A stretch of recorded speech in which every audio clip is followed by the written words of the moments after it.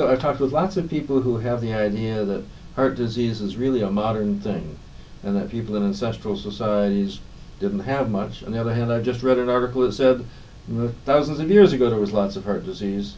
What does your data have to say about that? Well, I think that in some places around the world there has been heart disease in the past, but our data are suggesting that a population can live into ripe old age without really having any risk of heart disease. There's- We So- so see done- very little So you've done lots of EKGs, and how many people do you see on EKG evidence that they've had a previous heart attack?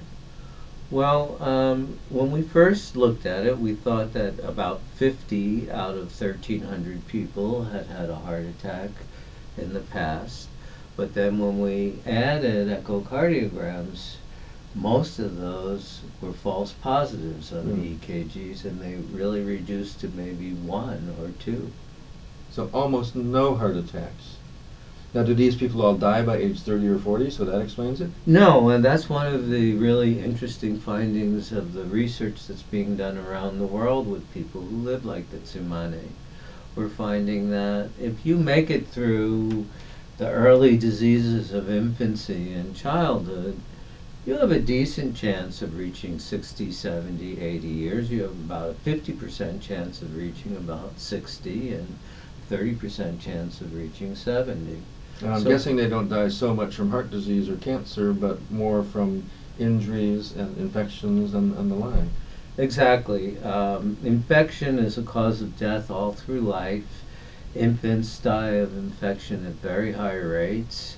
Then people build up immunity and they do better, but as they age, then infection starts to increase again as a risk of death, and that is the major cause of death plus accidents. People have snake bites, their canoes turn over, uh, they have accidents with trees, and so there's a lot of ways to die. So they do, it's not, so the low, low rates of heart disease are not because everybody's dying young.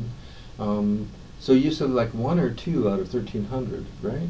Of 1,300 people who are already older. Or already older. So how many people would that be in the United States, for instance, out of 1,300 at that age approximately? The majority of people over the age of 60 have atherosclerosis, which is a risk of having a heart attack. Um, not all people end up getting a heart attack, but they're already on the way towards heart disease. Now, if I recall right, you and your friends hauled a scanner into the local area and you scanned people's hearts to see if they had calcium in their hearts, which is an indicator, right? Actually, what we did was we transported 700 tran- uh, from their villages to a city, and then from that city to another city where there was a CT scanner. How, how long did that take to get them there? Usually two days. Each way? Each way. How did you convince them to spend four days of their lives participating in your study? Um, because most people who are older have different diseases that they're suffering from. And by going to the larger city, they get to see specialists that they wouldn't have had a chance to see. And they like the idea of good food and lodging during the time they're with us. They stay in a nicer place than in their houses, which are thatched huts. So it's not just helping out medical research.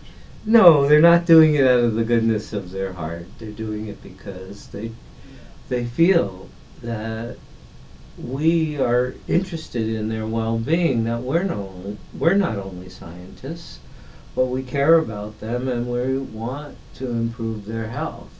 So I understand you actually spend a lot of your time trying to improve the health of people in the Tsimane. Yes, it's a commitment that the project has, and we think of it as operating on several levels. The permission to work with them, we need permission from the tribal leadership, and then we need permission from the village, and we need permission from the family, and then we need permission from the individual. And how we have been so successful in getting the permissions and getting people is that they've come to trust us over the years.